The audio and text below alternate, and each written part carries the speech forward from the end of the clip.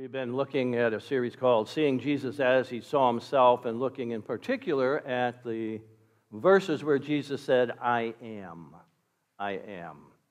I don't know uh, if you remember about the two preachers. The one was actually a Catholic priest and a Baptist preacher. Their side of the road, and they had their signs out. And the signs said, Repent, the end is near. Car come by, and they'd mock the preachers. Come on, the end is near, and they'd keep on going. Some of them, you know, they gave them the Italian salute, and some stuck their tongues out at them. And, and uh, they would go by, and as they'd go by, it wouldn't be long, they'd hear the screeching of tires and a big kind of crash. And uh, they put the signs out even more emphatically Repent, the end is near. Cars would go by, screeching tires. Then finally, the, the Baptist preacher says to the Catholic priest, Well, maybe we should change our signs to, read, to, to read Turn around, bridge out ahead. There is a way which seems right unto a man, but the end thereof are the ways of death. Proverbs 14, Proverbs 16, both chapters have that same statement. There is a way which seems right to a man, but the end thereof are the ways of death. Jesus said, and that's what we're going to look at today. Jesus said, I am the way, the truth, and the life. There are many ways that lead to destruction. That's what Proverbs chapter 14, 16 says. But there's only one way that leads to life. Jesus, even in a previous sermon, said there's a wide road and a wide gate that leads to destruction, and many people are on it. And then there's a narrow, there's a narrow way, and there's a narrow gate, and there's few that are on it. Today, Jesus says, listen, I am the way. I want to focus on that. These three come as heart fast paced. I am the way, I am the, the truth, I am the life. And we're going to hit all three of those because Jesus saw himself as the way. I want to ask you have you ever been lost? Yeah? Ever been lost? Yeah, I think everybody say I've been lost. Hey, I mean really lost. So you uh, really didn't even know where you're going. I mean, you say, oh my goodness, I am like totally, totally confused here. How about you were lost and you didn't know it. I can remember as kids. Uh, and we always traveled for our summer vacation down to Missouri to see my grandparents. And uh, when we were kids and we were loud and rowdy, the idea of my dad was get up really early. He'd go to bed early, wake up, keep us up at normal hours, and, then we would, he'd get up early like 2 in the morning, throw us in the car, and then we would sleep. See, that way he could do the 11 hour trip because there were no superhighways back then, and he could do that 11 hour trip with the kids sleeping in the car. And I can remember, you know, we should be halfway there, and I, can remember waking up because it's getting daylight out now. So we've been on the road like six hours or so, and uh, we drive for a little longer, and all of a sudden we said, Dad, how much longer? And he said, Oh, we should be getting there soon. And we looked and we saw in front of us a sign that said, Welcome to Michigan. He was lost and didn't even know it. We still had like nine hours to go. He totally defeated the purpose of getting us all, all up, you know, early in the middle of the night and driving for that, because he was lost and didn't know it. I think that's the way most people are. They are lost and they don't even know it. They're on that broad road, and there's a lot of people on it, and they're doing everything everybody else is doing, and hey, we're having a great time, wonderful time and they don't know that the bridge is out up ahead. And, they're ignoring the signs that say, repent, turn around, because there's a destruction ahead. And they're missing the narrow road and the road to be on it that leads to life. We got to pick up in the previous chapter and get a little background for what Jesus is saying that I am the way, the truth, and the life. Into chapter 13, you've got to realize it's Maundy, Thursday. Maundy, Thursday, okay, is the day before Good Friday. On Maundy, Thursday, Jesus has washed the disciples' uh, feet, you know, in the upper room, and he's been talking to them. And, and we get towards the end of the chapter of Maundy, Thursday, he says, My little children, or my children, I will be with you only a little longer. Now, when we read back in time, we know that a little longer is just a few hours just a few hours. Judas is going to betray him with a kiss, and he's going to be taken from the disciples, and they're not going to see him for a while. He said, My little children, my children, I will be with you only a little longer. You will look for me, and just as I told the Jews, so I am telling you, where I am going, you cannot come. Where I'm going, you cannot come. Where is he going? He's going to the cross. Where is he going? He's going to the grave. Where is he going? He's going to the resurrection. Where is he going? To the ascension. Where is he going? He's going back to the Father. He's going to heaven. And what is he saying? Listen, where I'm going, you cannot come. Now, you got to love Peter. Peter's a guy that always speaks up, he speaks his mind when everybody else is thinking it, he says it. And so he says, Simon Peter asked him, uh, Lord, where are you going? This is a good question. Where are you going? We know that looking back where he's going. He doesn't know it because he's still looking future. Where are you going? Jesus replied, Where I am going, you cannot follow me. Not now, but you will follow later. And Peter, you know Peter, Lord, why can't I follow you now? I will lay down my life for you. You know where this is going, don't you? If you read the gospel all, you know where this is going. Jesus then answered him, Will you really lay down your life for me? I tell you the truth, before the rooster crows, you will disown me three times. We got to be very careful we don't become arrogant in our faith. We got to be very careful because him who thinks that he stands is about to fall. Okay? So we live a humble Christian life, not an arrogant, proud, wow, look at me, I'm a follower of Jesus. Sorry about you, buddy. No, it's a humble thing that God has graced me. He was asking, Where are you going? And Jesus says, Hey, well, well don't worry, don't worry. Don't let your hearts be troubled. Trust in God. Trust me. You know what he's saying? I know where I'm going. Just trust me. Just trust me. I know where I'm going. In fact, he says, I know where I'm going and I know the way to get there. Later, he says, I am the way. But right now, he says, This is where I'm going.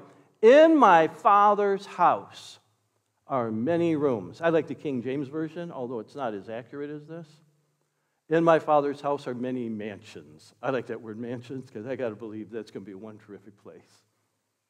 I already put my order in. I want it at the corner of Glory Avenue and Hallelujah Street. You look me up when you get to heaven, that's where I'm, I'm hoping to be, all right? Glory Avenue and Hallelujah Street. Yeah. In my Father's house are many rooms. If it were not so, I would have told you. Here it is. He's answering Peter's question. I am going there. Remember, Peter said, Well, where are you going? He said, I am going to heaven. You can't come right now. You're not coming now. You're going to come later. Later. I'm going there, and he says, to prepare a place for you. My goodness, he's been gone for 2,000 years, right? And he's making preparation for me. He's making preparation for you. I have this idea from other passages of Scripture, like in Hebrews chapter 11, Abraham looked for a city whose builder and maker was God, that the city is already there, and so it's already been created, but Jesus is making the preparations just for me and you. He's getting the room ready.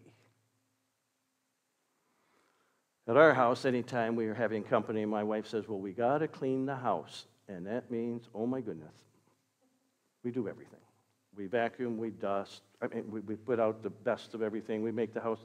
Jesus is preparing a place for me, for you. I'm going there to prepare a place for you. And if I go and prepare a place for you, I will come back and take you to be with me, that you also may be where I am. Listen, this is the first reference, I believe, in the Bible to the word, the term, the concept of the rapture.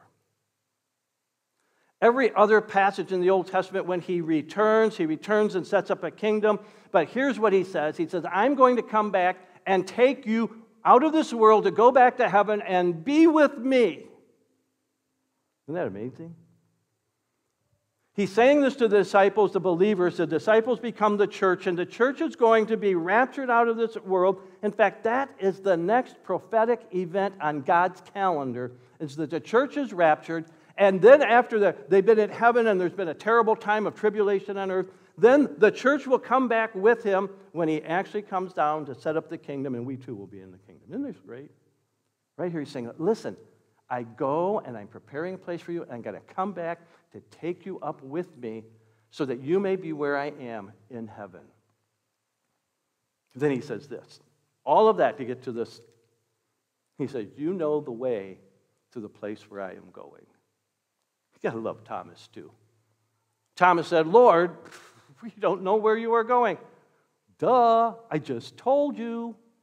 I'm going to prepare a place for you. But, you know, sometimes we just don't get it, you know? How many of you have ever read the Bible and the second time you read the passage said, Whoa, I don't think I saw that before. Well, yes, you did. You read it before, but whoa, it, now it strikes you. It's like that for everybody. It's even for me. I've read through my Bible several times and, whoa, I can't believe that there. I must have missed that. Listen, he didn't connect the dots. He says, We don't know where you are going. He just told them where he was going. So he said, How can we know the way? He said, I'm lost. I'm lost. I don't even know that I'm lost because I, my goodness, I'm so lost, I don't know where I'm going. That's pretty lost. He says, Here, I am lost. I don't know where I'm going. How can I know the way when I don't know where I'm going? And Jesus said, I am the way. Hodos is the Greek word. Road, path, the trail that you follow. We saw just last week, Jesus said, I am the door. You open the door, you enter, then there's the path. You follow the path. The door is into the fold of God's salvation. You're on this path. You're following Jesus. We are followers of the way. It all begins with faith, because Jesus said this as he began the passage. He says, Do not let your hearts be troubled. Trust in God, trust also in me. The word trust is the Old Testament word used often for the idea of what we call faith, belief. I trust to someone. So imagine I have a chair up here, okay? And I got a chair, and I look at that chair and say, oh, it looks like a pretty sturdy chair. And uh, so I, I, can say, hey, that looks like a chair. That's it, it. But when I actually go over and actually sit on it, I could say, I think that chair will hold me up. I think, in my mind, okay, it's all, all in my head. And uh, I can go over and check it out, push it around. Yeah, it's pretty solid. But it's not holding me up until I actually sit on it. And once I sit on it and lift my feet, no, I'm not going to do that because there's no chair here, okay?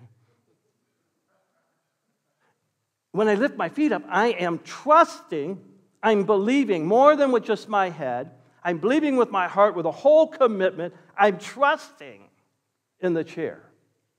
When Jesus says, trust in me, he's saying, let go of everything else. Pick up your feet, just recline and trust in me. The work that I have done on the cross to die for your sins, paid in full. Don't try to do it on your own. Don't go on the wrong path. Go through me. I am the way. Trust me. Trust me. Now, it's very interesting to me. Jesus said, I am the way. You got to trust me. It's a way of faith. Before they were called Christians, the disciples were called those who belong to the way. Isn't that, isn't that interesting? They were the way people. Why? They had put their commitment and trust that Jesus is the only way to the Father in heaven. He is it. And so they got dubbed this title. They're the way people, people of the way. In fact, it goes in the book of Acts, all the way towards the end. The Apostle Paul is defending himself in a court, and he says, I admit that I worship the God of our fathers as a follower of the way. Jesus is the way, the truth, and the life. No one comes to the Father except through him. If you're lost, and I don't care how, how, what, what you're lost at, Jesus is your way. You can be lost in philosophy, Jesus is the way. You can be lost in your emotions, Jesus is the way. You can be lost at work, Jesus is the way. You can be lost in your family, Jesus is the way. Jesus is the way. He says, ultimately, Jesus is the way to the Father. There is no other way. There is no other way. He goes on and he says, and Jesus is the truth. Jesus is the truth. Ever been deceived? Tricked? Okay, come on. How many have ever seen a magician? They're really good at it. They can really pull that off. Let me ask have you ever embraced a lie? Truth is, I think we all have. Here's how we do it Man, I can't do anything right. Oh, did you ever say that? Ever slip out of your mouth? Or, nobody likes me. Man, I have no friends. I am just so stupid. Why didn't I see that? What, what, all, all these things. We have embraced a lie that we don't measure up to some standard. Somebody else's standard, maybe there's a child says, What's wrong with you? You can't do anything right. So you grew up and you thought in your mind, I can't do anything right. So I embraced a lie that somebody else gave to me, and it's not the truth at all. I'm living in a lie because I've embraced the lie. Sometimes we tell ourselves that. We look in the mirror and we see ourselves and say, Ben, how could anybody love me? We tell ourselves a lie. God tells us that we are made in His image, and if no one else loves us on this planet, God loves you, and God loves me. God has assigned a purpose to my life. When I say, oh, I can't do anything right, that's a lie. There's something I can do right because God has prepared and made me in His image to do something right.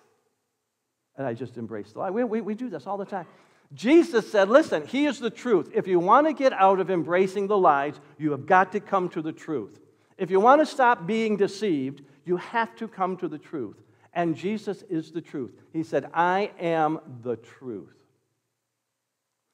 In 1 John, the apostle writes this We know also that the Son of God has come and has given us understanding so that we may know him who is true. You want to know the truth? You've got to know Jesus Christ. You've got to. And we are in him. We are believers in him. We have been united to him so in our faith, so we are in him who is true. I have truth in me, folks. Because the Son of God dwells in my heart by faith. There's truth in me. And we are in him who is true, even his Son, Jesus Christ and He is the true God. He is true God. Jesus. God invaded me when I was eight years old. I accepted Jesus Christ as my Savior. God the Son dwelled in my heart by faith. God the Holy Spirit made my body His temple. God invaded me, and He is the truth. I have to discover and uncover the truth within me to push out the lies that Satan, because he's the father of all lies, that he is wanting me to buy into. And I have to push them out and tell them. Yeah, I got to sometimes, like Jesus said, Satan, get thee behind me.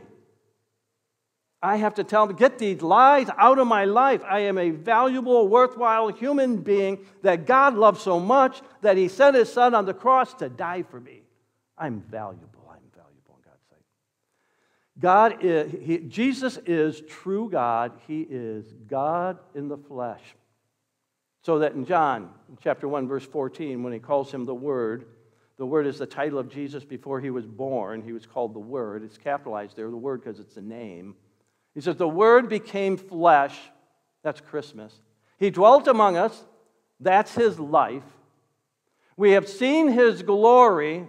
That's when he's doing all the miracles and things that he was doing in his lifetime the glory of the one and only, that's the only begotten Son of God, Jesus Christ, who came from the Father, full of grace and full of truth. You want to have truth in your life? You have to have Jesus Christ in your life.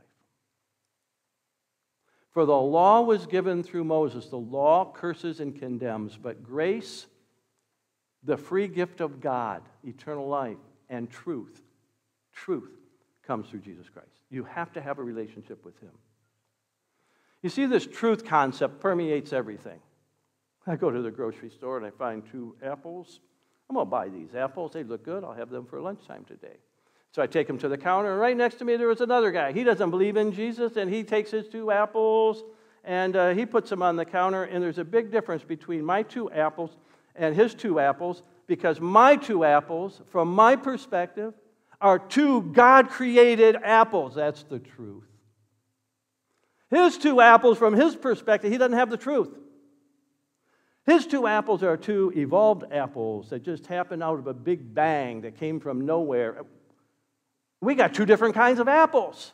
Now, they taste the same, they look the same, but I have the truth and he's living in a lie.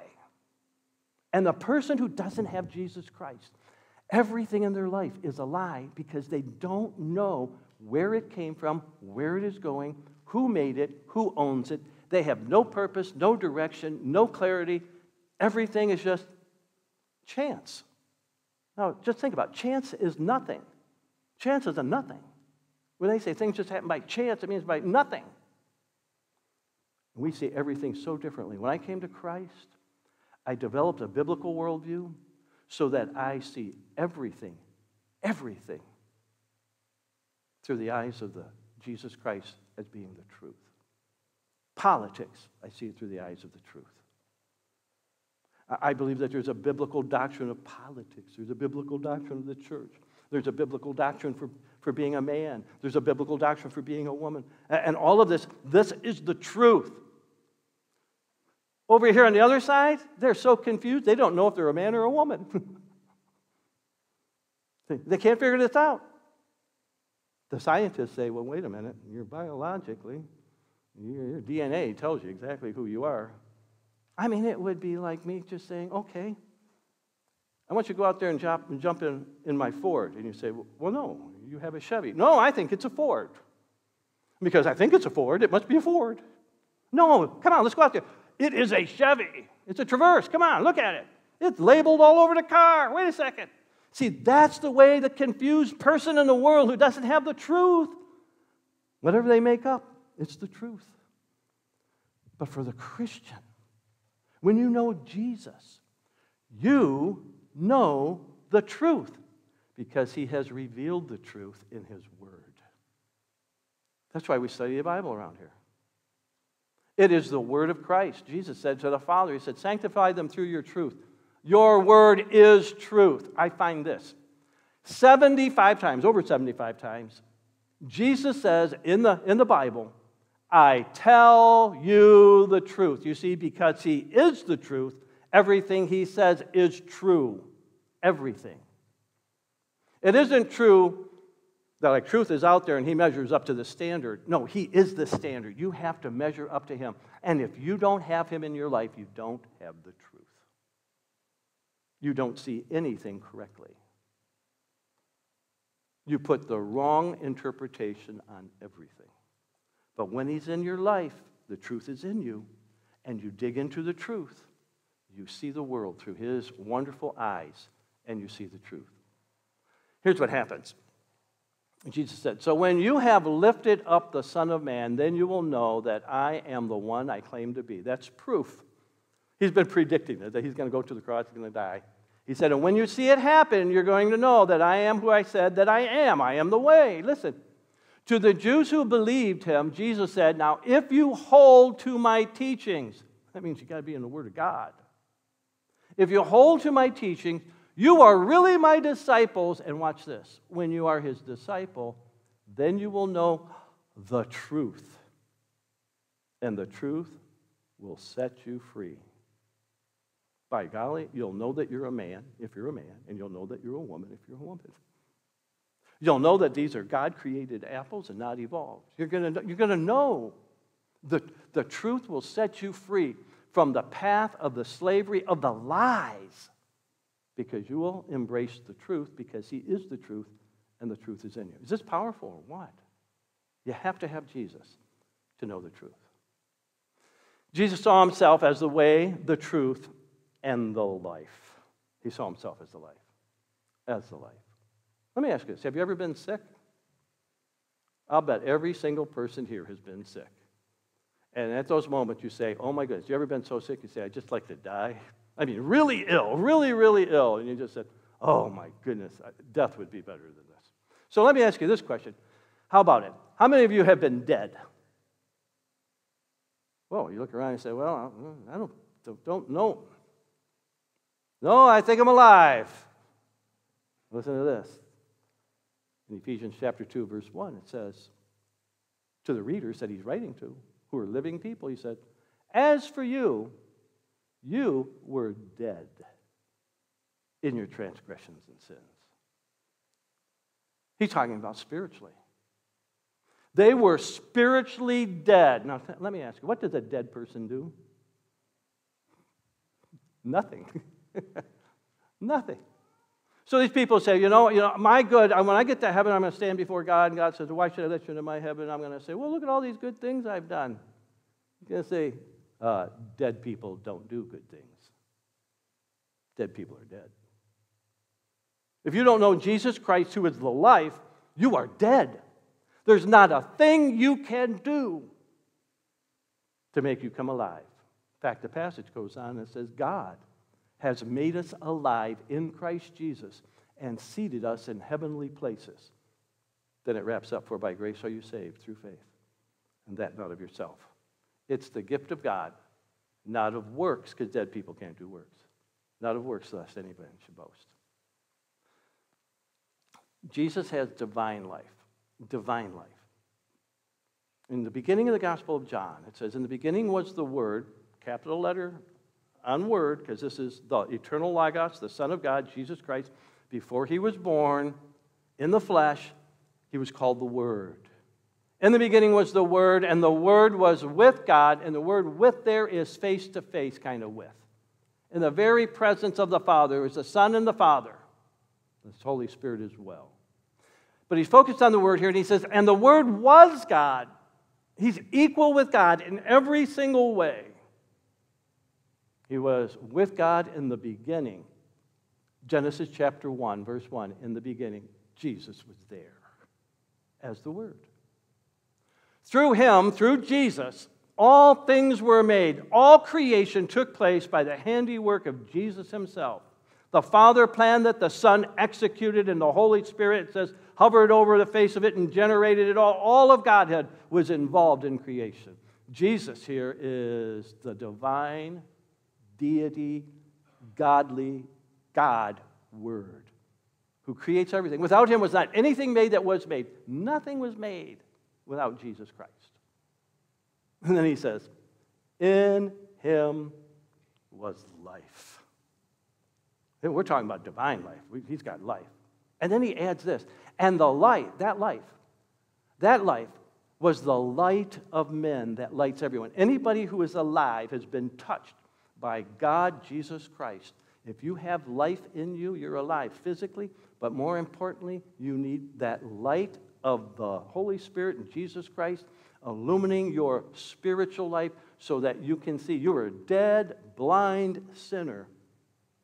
And the moment you accept Christ as your Savior, He imparts into you a life.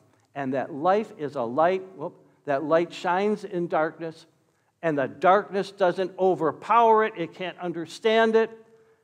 I, I love this passage. I am the light, and my light will expel the darkness. Darkness can never overtake my light. Do it. You, you conduct, conduct this experiment at home.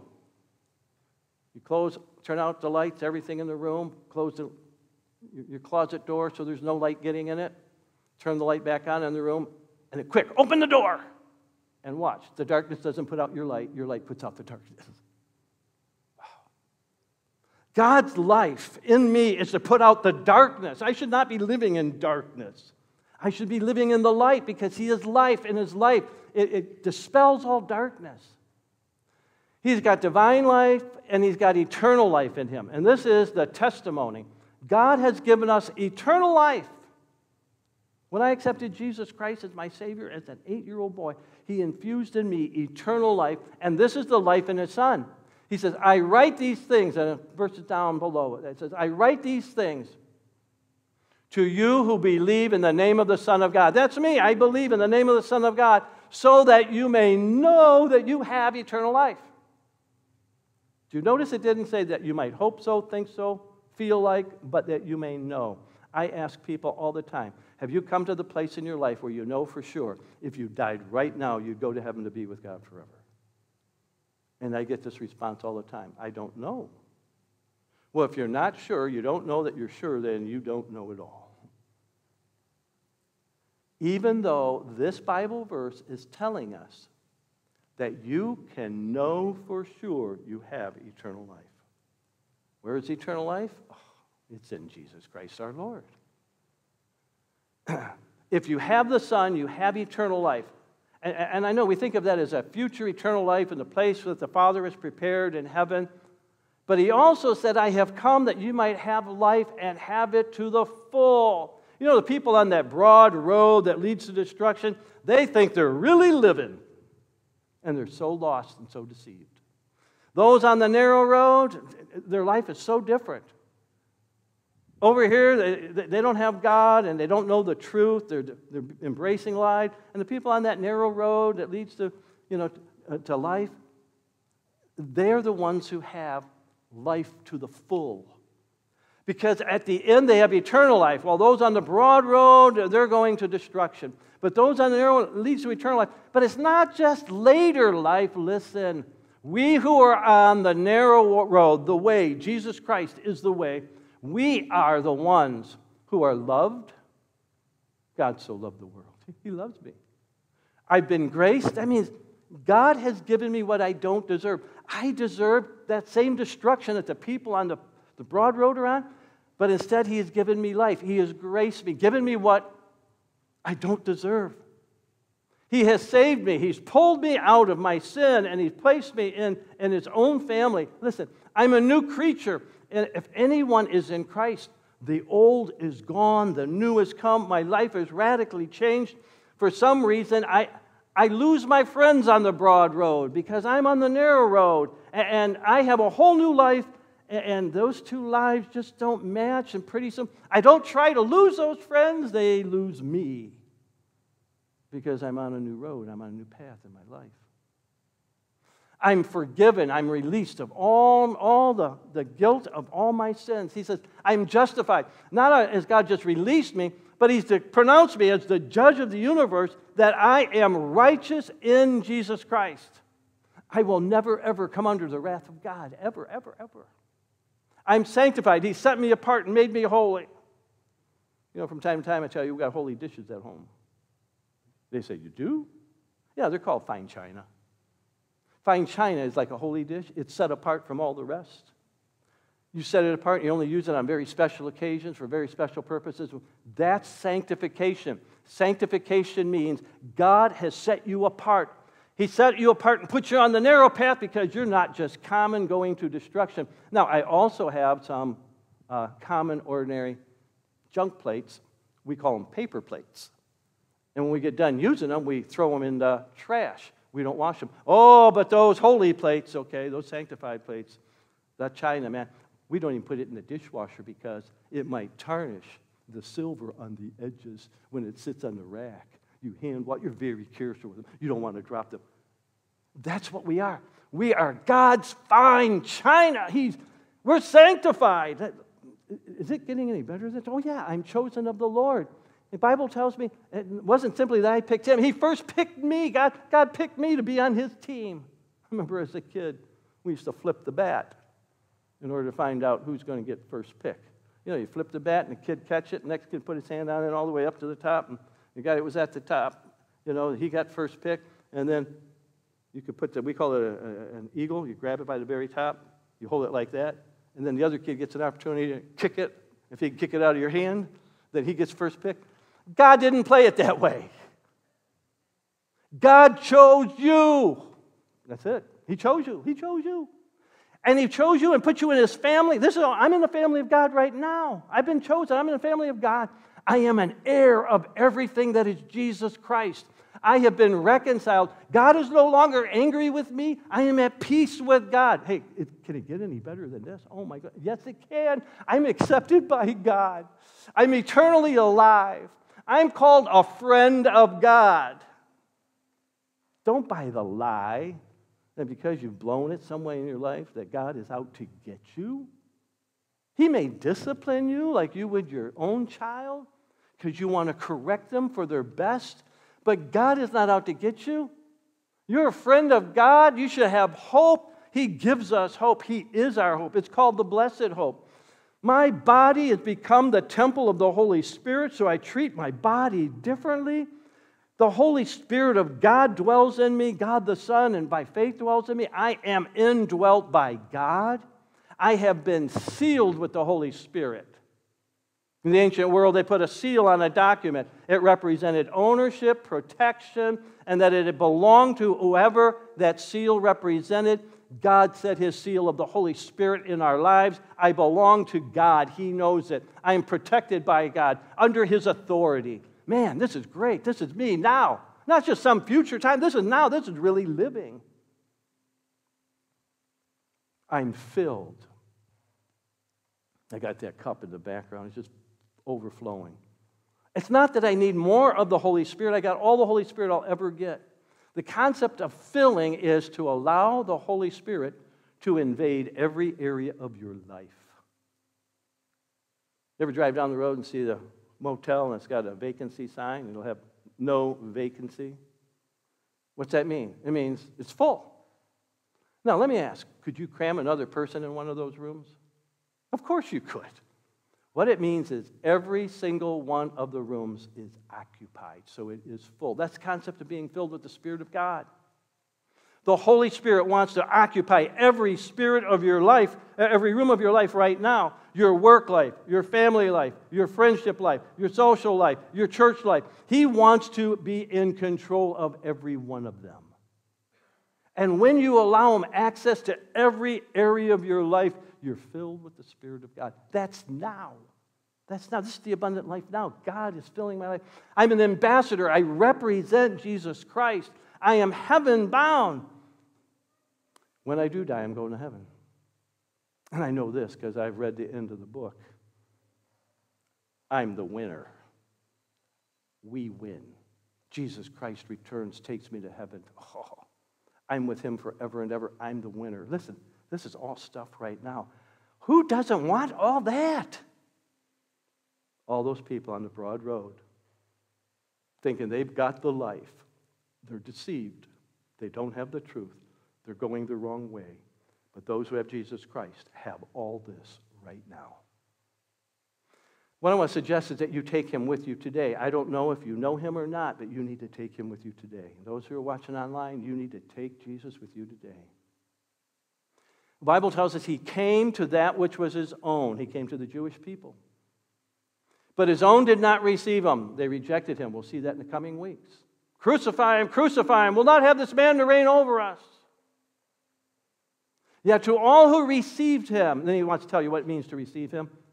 This is called a gloss. He defines what it means to receive him. It's a glossary, it's right in the text. He says, This is what it means to receive him to those who believe in his name. You've got to become a believer in Jesus Christ. If you believe in Him, He has given you the right to become the child of God. You're in God's family. Boom.